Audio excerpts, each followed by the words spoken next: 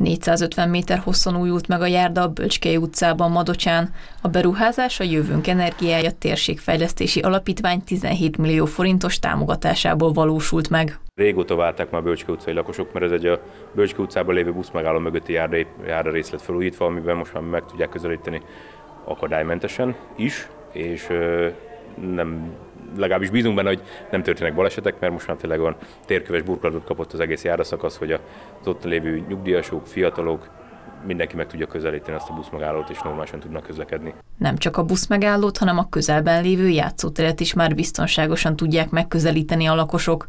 A járdán kívül a település egyik leghosszabb utcájának rekonstrukciója is megtörtént. Még valósult meg még egy másik pályázatból lévő, az egy útfelújítás, az Adi utcáról már régóta várakoztak a lakosok, és hál' Istennek az is végkifejlett beérkezett.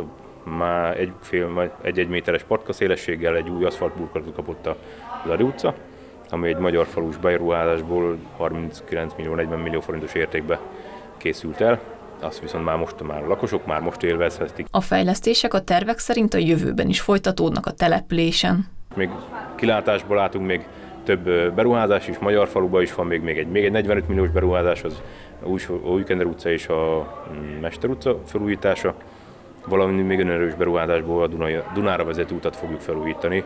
Azt most azért közbeszerzés tárgyában van, és hamarosan kérjük a közbeszerzést, úgyhogy az is elkezdődik. Épül szépül a település, hál' Istennek.